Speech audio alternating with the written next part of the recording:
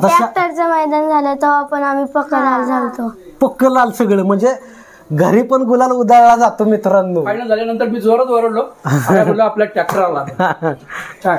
पण लोकांना माहीत पडलं की तो बकासूर घरातला आहे. त्यांचं संपूर्ण अखंड महाराष्ट्रात नाव झालंय. त्या बैलाचं बघू शकता चित्र अशा प्रकारचं सगळ्यांनीच अं, काढलेलं आहे. हे विशेष बाब आहे कारण का ज्याच्यामुळं आपल्याला ओळख भेटली. ची जी गाडी आहे जी ज्याच्या नावानं पळती ती म्हणजेच की आपल्या अर्णव शेठ साळुंके मोहिल शेठ दुमान या दोन नावांवरती पळती. मित्रांनो बकासूर बैलाचे मेन मालक म्हणजेच की मोहिल शेठ धुमाळ यांचे आजोबा आपल्या बरोबर आहेत. नमस्कार मामा. कसं वाटतंय आज बकासूर आपला बैल अख्ख्या महाराष्ट्रात धुमाकूळ गाजवतोय? अक्षरशः देवाचा अवतारच घेऊन ते तुमच्या म्हणजे दावणीला आलेत. काय तुमच्या भावना आहेत नेमक्या? त्याचा अभिमान वाटतो जेव्हा आपल्याला सगळं त्याने कमवून दिलं त्याची काही आपल्याला अपेक्षा नाही.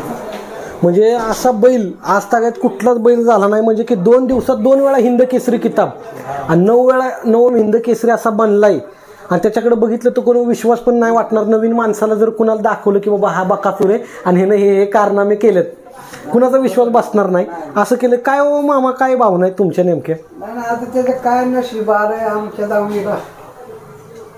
नक्कीच तुमचं पुण्य आहेत आणि त्यामुळेच हा बैल तुमच्याच दावणीला आहे. दुसरीकडे कुठं झाला नाही पण हा फक्त तुमच्याच दावणीला झाला आहे हे खरंच तुमचंच श्रेय आहे संपूर्ण. आणि तुम्ही त्याला घडवलं. कारण का ज्यावेळेस बैल पळतोच पण घडवणारा पण तेवढाच मेन महत्त्वाचा माणूस असतो. तुम्ही घडवला त्याला त्यामुळेच आज तो इतका मोठा झालाय. तो तर मोठा झालाय तुमचं पण नाव केलंय. काय वाटतंय आता? काय कुठली अपेक्षा राहिली का? काय आमच्या अपेक्षा राहिली नाही. आता सगळं तुम्हाला सगळ्या तुमच्या इच्छा पूर्ण केल्या काय राहिले नाहीत आता. तर बघू शकता मित्रांनो हे आपले अं, मोहिलचे त्यांचे आजोबा होते. आणि हा जो छोटू आहे हा बकासूरचाच मालक आहे. संतोष मामांचा चिरंजीव छोटा. बघू शकता हा पण लवकरच मैदानात आपल्याला दिसणार आहे. बघू शकता संपूर्ण तयारी झाली. जशी आपण म्हणतो दिवाळी घरात दिवाळी असती तशाच प्रकारचं वातावरण आज आहे. बकासूर बैलाचा आज अ, बैल पोळावे या ठिकाणी पुण्यातला भाद्रपतमधला सगळं संपूर्ण कुटुंब या ठिकाणी आले बघू शकता मित्रांनो. म्हणजे एक केलं एक प्रकारे सगळे. आणि सगळ्यांना खूप मोठा अभिमान आहे सार्थ. गर्व आहे की बाबा बकासूर हा आमचा आहे आणि आमच्या दावणीला आलाय. तर हे बकासूर बैलाचे लहान मालक हे आपल्या बरोबर आहेत समवेत. ज्यांच्या नावानं ही ब- ब- बकासूरची गाडी पडली जाते ते म्हणजेच की अर्णव शेठ साळुंके मोहिल शेठ यांचे जे मोठे मामा आहेत त्यांचा चुरंजीव आहे छोटासा. बाळा तुझं संपूर्ण नाव सांग. अर्णव आधी सांगते बकासूर हा तुझ्या नावानं पळतो. अख्ख्या महाराष्ट्रात धुमाकूळ गाजवतोय. काय वाटतंय तुमच्या बकासूर विषयी चांगलं वाटतं पोहतो म्हणून. आता लहानपणी बकासूरच्या बरोबर काय काय काय तुम्ही कसं प- क- कुठल्या प्रकारे खेळायचं? सांग जरा आम्हाला. आम्ही चालवायचो पळवायचो पण. आणि त्याला मित्रांनो घरात पण घेऊन जायचा. तर याचा किस्सा असा आहे की हा बकासूर ज्यावेळेस छोटा होता त्यावेळेस त्याला पकडायचा आणि घरात संपूर्ण फिरवायचा अख्ख्या घरात. आणि हिनं त्यावेळेस त्याच्या अंगावर गुलाल टाकलेला. त्यापासनं आज तागायत बकासूरच्या अंगावरती गुलाल. हे विशेष बाब आहे मित्रांनो.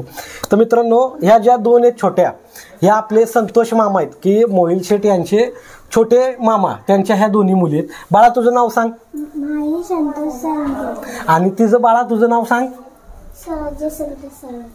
बाळा तुमचा बैल एवढा धुमाकूळ गाजवतोय. काय वाटतं? काय म्हणतात मैत्रिणी वगैरे शाळेत? मस्त मस्त बोलतो चांगलं खेळतो. तुम्ही बकासूर मैदानावर गेल्यावर तुम्ही बघता का सगळे? लाईव्हला? काय तुमचा बैल जिंकल्यावर काय तुमचा कसा प्रकारचा आनंद आम्ही लाल होतो. लाल होतो तिथं जिंकलो आम्ही गुलाल घेऊन. गुलाल घरात सगळीकडे धुमाकूळच घालता का तुम्ही? हा. आता शा- ट्रॅक्टरचं मैदान झालं तेव्हा पण आम्ही पकडायला झालतो. पक्क लाल सगळं म्हणजे घरी पण गुलाल उधळला जातो मित्रांनो. हे अशा प्रकारचं इकडे वातावरण असतं. आदेश मामांचे सासरे. तर हे संपूर्ण कुटुंब आले म्हणजे बाकासूरच्या साठी सगळी जण आलेत दादा काय सांगाल? आज तुमचा बाकासूर अख्ख्या महाराष्ट्रात धुमाकूळ गाजवतोय आणि नेमकं बेंदूर सणानिमित्त तुम्ही आलाय. काय सांगाल? काय भावना आहेत तुमच्या? नाही तो बकासूर तर एकदम त्याचं काही विषय जेवढं सांगन तेवढं कमी आहे त्याचं. कारण बकासूरचा दर बेंदूरला म्हणजे सणाला. त्याचा कार्यक्रमच मोठा होत असतो. आम्ही जरी आता मी पिंपरी चिंचवडला राहिलो पण मी त्याचा खास त्याच्या मिरवणुकीसाठी इथं हजर राहिलो. कारण मागची रविवारी जे झाले तशी मराठवाड्या बीडला जे एक कार्यक्रम होता आपलं मैदान होतं त्या मैदानासाठी मला बी यायची इच्छा होती. कारण त्या दिवशी मला शनिवार रविवार सुट्टी होती. तर मी रविवारी संभाजीनगरला होतो मी. आणि गुगे गट बघितला मी सकाळी. गट बघितला गट पास झाला छकड्यानी. त्याच्यानंतर मी मंदिरातच होतो. हम्म. मी त्या टायमाला लगे महादेवाला म्हणलो आज गुलाल होऊन दे. होय. हा गुलाल होऊन दे. आणि लगेच मी बसमध्ये बसल्यामुळे परत बघितला सिमी बघितली. मला वाटतं सिमी पाच नंबरला होती सिमी. हा. हा तेव्हा बी छकड्याने पूर्ण ग- पास केला गट हो, सिमी. आणि परत संध्याकाळी संभाजीनगर रोडला आल्यानंतर फायनल बघितली. हा. माझं काय दुसरीकडे फिरण्यावर लक्ष नव्हतं. ते लाईव्हच लक्ष. हा. मी फिरायला गेलो पण बिलकुल फिरलो नाही. मन राही ना तुमचं. मन राही ना माझं. मन सगळा म्हणजे अं, सगळं तिथं दादांचा सगळा जीव हा. बकासूरवरच लागला होता. दादा ज्या वेळेस लोकांना कळतं की बकासूर हा तुमच्या घरातला आहे आणि त्यांना कळतं की बाबा तुमचाच तो बैल आहे. काय हो भावना? आम्ही त्या टायमाला पंचेचाळीस जण होतो हा. रविवारी तिकडं. पंचेचाळीस जण होतं. ते- हा तर त्यांच्या पंचेचाळीस ग्रुपमध्ये मी एकटाच फक्त बाजूला जायचो. होय. हा का तर ते लाईव्ह बघायची होती मला. हा.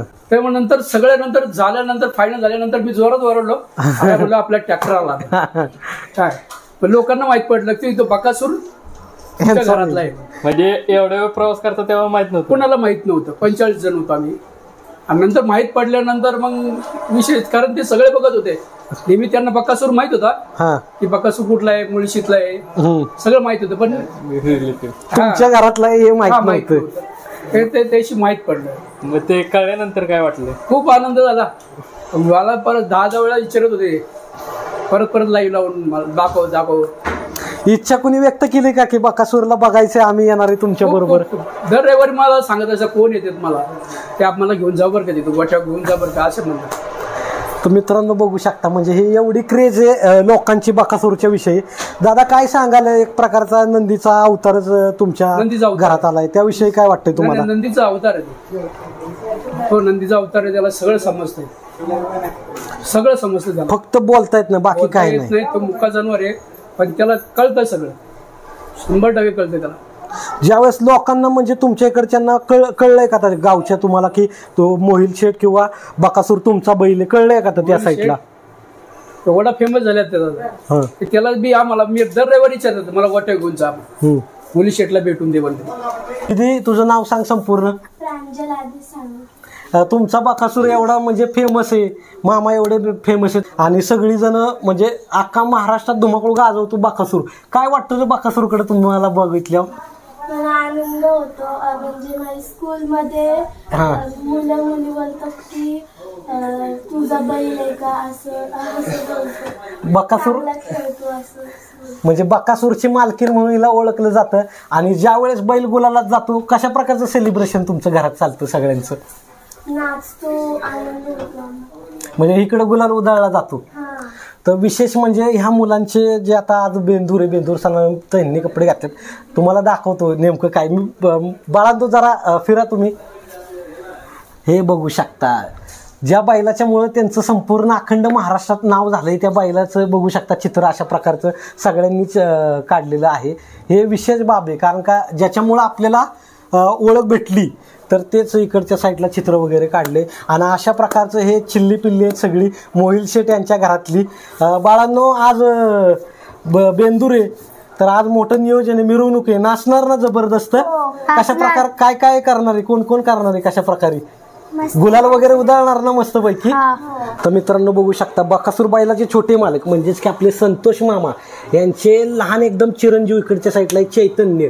आपल्या बरोबर आहे. ते पण चांगले तयार झाले बघू शकता. हिंद केसरी बकासूर. अशा प्रकारे त्यांच्या शर्ट वरती लिहिलंय. आणि आता बघू शकता.